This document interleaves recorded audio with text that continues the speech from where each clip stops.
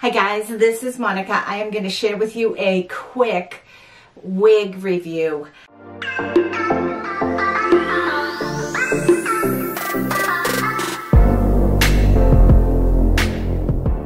Being of a certain age, I remember when I was a lot younger, that I used to wear my hair very similar to this when I had short hair. Longer on the sides, kind of very shaggy, a little bit longer in the back, tapered around the back of my head and around my ears. And I absolutely loved it. So when I received this wig for review from Wig Studio One, I took one look at it after I shook it and I put it on my head. I took one look at it and I said, oh my gosh, it's like walking down memory lane with my hair. So let me just tell you what this is. This is this is actually Kaylee by Tressallure and this is such a cute cute style. You know, there's something I think about a ready to wear wig, you know, you shake it, you just put it on, synthetic fibers, it holds a shape, wind, snow, all sorts of different conditions. I'm going to superimpose as I'm talking a clip of me outside. You can see the sun hitting on the wig.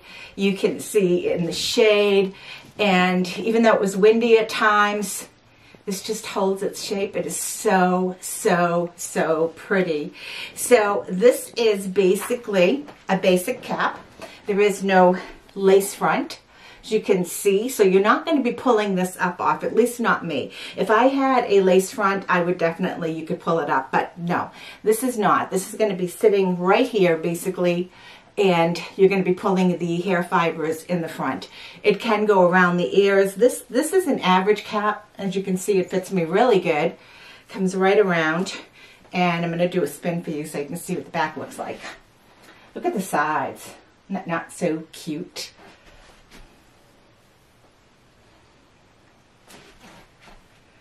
I think this is absolutely adorable. So once again, this is Kaylee by Tressallure. The color is Mimosa HL, and I think this is the most prettiest blend of colors.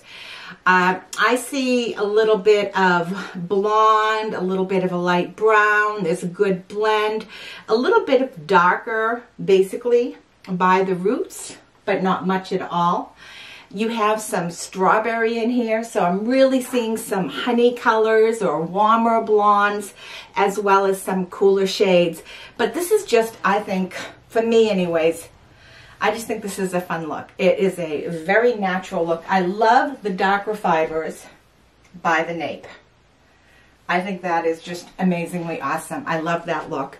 You can tuck this. You can tuck this right behind your ears if you want course, if you have earrings, you have to be careful. But you can tuck this right behind the ears if you want.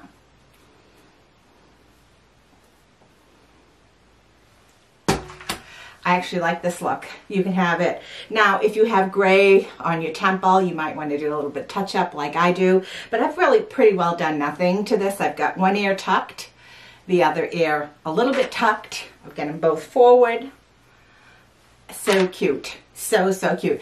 I'm going to superimpose the inside of the cap. I just want you to see that it is a basic cap here. No lace front and no monofilament. This is synthetic. The bangs run to be about six, a little over six inches. The crown is about 4.75 and the nape is 375. It's considered a shag style. I call it like a bob shag style. And um, yeah, a little bit wavy texture, not bone straight. There is some permatease. You can feel it here.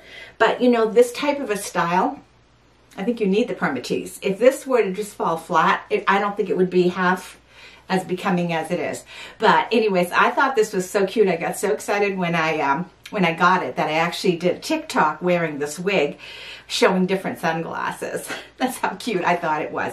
Again, this was sent to me complimentary from Wig Studio One. I did another review for this on their channel. If you have not, if you're into wigs and you have not checked out Wig Studio One's channel, please do. I'll make sure I link it below. Also check out the Facebook group. They have over 14,000 people on their Facebook group. And that is just totally amazing. It is such a wonderful group to belong to because it is full of people sharing their ideas on, on which wigs they like better, how to wear them, how to style them, just different tips. I think it's fantastic. So I am thrilled to be a guest reviewer for Wig Studio One, and I'm thrilled that I can share this with you guys. So I hope you like it. I'll leave all the information below.